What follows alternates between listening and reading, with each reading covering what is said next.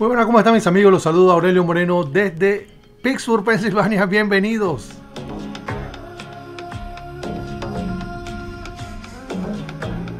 La única duda que existía con relación a Spence Jr.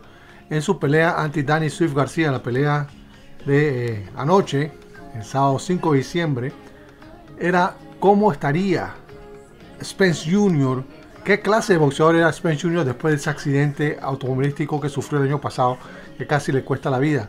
No había duda en que Spence Jr. vencería a Danny Swift García. Yo lo había mencionado en varias ocasiones, esta pelea la, debía ganar, tenía que ganarla Spence Jr.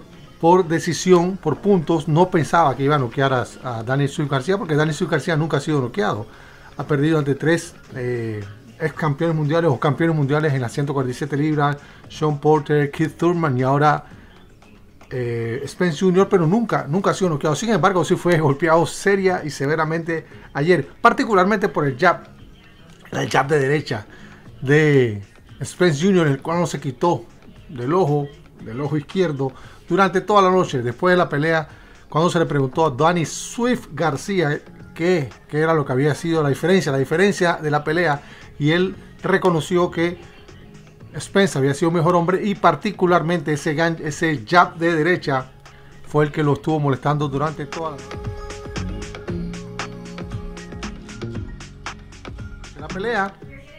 Como todos esperábamos, fue un dominio, eh, un 95% de dominio de parte de Spence Jr., que es obviamente un boxeador más completo, un boxeador más eh, que tiene más herramientas, es más rápido, diría que tiene mejor dominio del ring, camina mejor el ring, se mueve más, tiene más velocidad, en general más completo que Dani Swift García, quien eh, depende mucho del contragolpe, depende mucho de un solo golpe.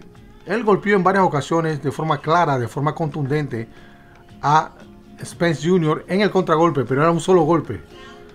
Por alguna razón, eh, Swift García no es un hombre de combinaciones, no un hombre que suelta varios eh, en ráfaga, suelta un, solo golpe de derecha, un solo recto de derecha, un solo medio, medio gancho de derecha también, un golpe medio raro que tira eh, en ese ángulo, pero que no lo sigue, no le da continuación y entonces permite que el boxeador, su rival, le robe la iniciativa. Y eso es lo que estaba haciendo Spence, lo que hizo Spence durante toda la noche, robándole la iniciativa, manteniéndolo a distancia con ese jab.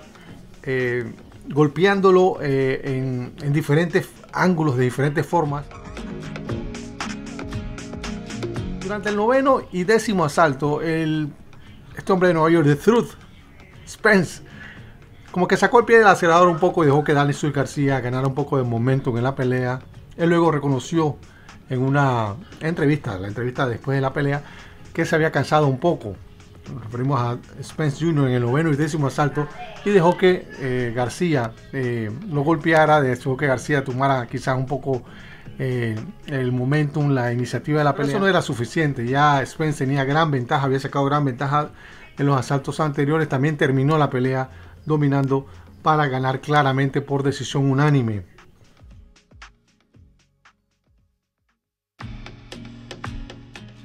Entonces tenemos claro, Spence Jr. gana, gana claramente, gana por decisión unánime ante un rival difícil. Spence Jr. fácilmente pudo haber escogido cualquier otro rival para su primera pelea de regreso después de este aparatoso accidente que sufrió. Sin embargo, escoge a un rival difícil, un rival fuerte, un rival que definitivamente le a poner, eh, le iba a poner un gran reto. Spence Jr. fácilmente pudo haber buscado a otro oponente para su primera pelea después de tanto tiempo de inactividad. Danny Swift García no era un oponente fácil, un oponente difícil, un oponente con experiencia, un oponente fuerte, es una piedra, este es un hombre que nunca ha sido noqueado. Sus dos únicas derrotas anteriores habían sido ante ex campeones o campeones mundiales en las 147 libras. Él es un boxeador que va hacia adelante, que no se rinde, que puede estar siendo golpeado, lastimado, eh, abrumado, pero viene, viene hacia adelante, sigue hacia adelante, va hacia adelante, buscando, buscando la pelea, haciendo daño. Y Spence demostró, por lo menos anoche, que ese accidente, esa, esa duda o esa sombra que pueda haber sobre ese accidente, esa nube de misterio, se ha eh, disipado. Por lo menos anoche. Lució bien, lució bien Spence. Lució bien, lució como el Spence de antes. Inteligente, rápido, eh, guardando las distancias, sabiendo cuándo golpear, cuándo retroceder, utilizando el jab de manera magistral para mantener a distancia un boxeador fuerte, un boxeador grande. Pero eh, no hay duda entonces de que por lo menos el accidente ya hay que sacarlo de la ecuación de quién o cómo está en estos momentos Spence Jr. Miremos hacia adelante ahora. No, quiso, dar muchos detalles Spence Jr. después de la pelea de con quién él quería pelear, de quién, a quién se quiere enfrentar. Se han hablado mucho de que él quiere pelear el próximo año contra Manny Pacquiao. Manny Pacquiao es el campeón welter de la Asociación Mundial de Boxeo. Recuerden que Spence es el campeón de la Federación Internacional y del Consejo Mundial de Boxeo en las 147 libras. El campeón de la AMB es Manny Pacquiao. Él ha dicho que él quiere pelear contra Manny Pacquiao para unificar títulos el próximo año. Y el otro campeón es el de la OMB, quien es Terence Crawford, quien estaba anoche en la pelea viendo eh, a lo que, al que podría ser su potencial rival. Por alguna razón, y esto es algo que eh, no quiero entrar en tantos detalles, la pelea lógica, la pelea lógica obviamente sería la próxima entre Terence Crawford y Spence Jr., porque son, están considerados entre los, dos entre los 10 mejores boxeadores libra por libra del momento. Muchos consideran a Crawford el mejor libra por libra del momento. La gente quiere ver a ellos dos enfrentarse. Si Spence se enfrenta a Pacquiao ahora mismo, Spence le gana a Pacquiao. Si Crawford se enfrenta a Pacquiao ahora mismo, como también se ha dicho, Crawford le gana a Pacquiao. Y no es porque ellos dos sean mejores que Pacquiao. Ninguno de ellos dos son mejores que Pacquiao. Sencillamente son más jóvenes.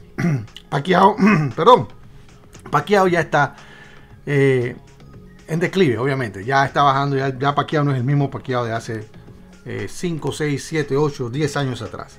Cualquiera de estos boxeadores, Spence o Crawford, se hubiesen enfrentado a Pacquiao hace 5 años atrás, Pacquiao los hubiese derrotado. Ya no. Ya Pacquiao está eh, listo para colgar los guantes, listo para el retiro. ¿Qué pasaría entonces en una pelea entre Crawford y eh, Crawford y Spence Jr.? Todavía es muy. Aparentemente, esta pelea todavía está muy lejana de hacerse realidad por cuestiones legales, por cuestiones de que no se ponen de acuerdo sus promotores, de que no hay eh, quién va a ser el lado A de la pelea, etc. Si eventualmente esta gente puede ponerse de acuerdo y llegan a pelear el próximo año, Spence contra Crawford, yo me inclino todavía un poquito hacia Crawford Creo que Crawford todavía puede ser un poco. Eh, todavía Crawford tiene la, tendría la ventaja, quizás por experiencia, sobre Spence Jr. Yo he dicho que hasta que Crawford no venza a Spence Jr. no se le puede considerar a Crawford como el mejor libra por libra, o ni siquiera se le puede considerar como el mejor welter del momento. Esa pelea sería interesante verla a los dos, sería una gran pelea.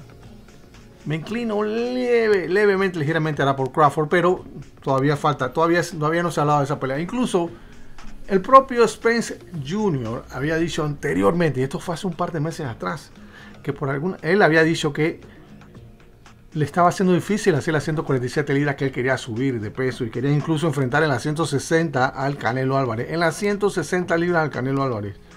Nos referimos a Spence. Spence contra el Canelo Álvarez.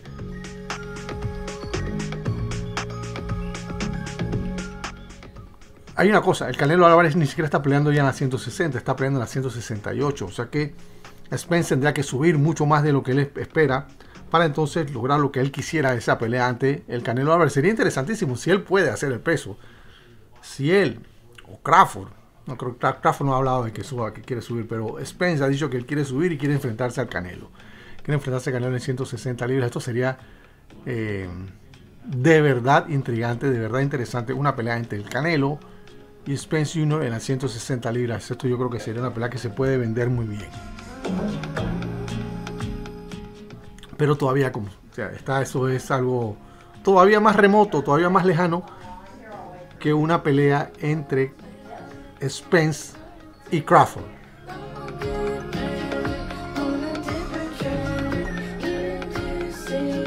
En resumen, Spence ganó como tenía que ganar eso es lo que se esperaba, no había ninguna sorpresa. La sorpresa hubiese sido que García hubiese vencido a Spence.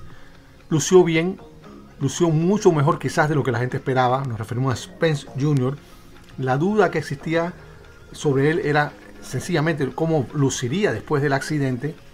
Lució muy bien, lució como el Spence Jr. de antes, de siempre, con su guardia zurda bien parado, manteniendo a distancia a su rival con un jab eh, insistente, consistente, electrizante.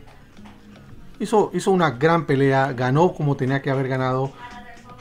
Eh, Danny Swift García es el mismo de siempre, no, no hay sorpresas con Danny Swift García, es un hombre que solamente viene a contragolpear, a tratar de ganar con un solo golpe.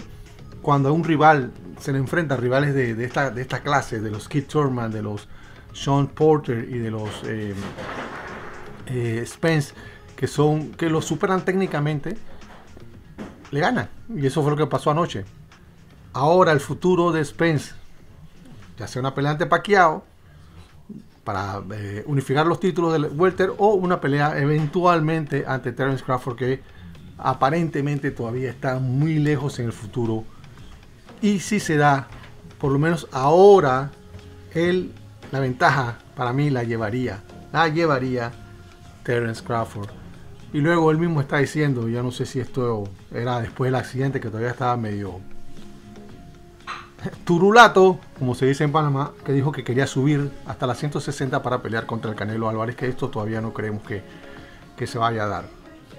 Por ahora, muy bien, lució, ganó bien Spence Jr., una buena pelea, una pelea interesante. Y ahora solamente falta esperar el próximo año a ver qué sea primero, Pacquiao o una pelea contra Terence Crawford.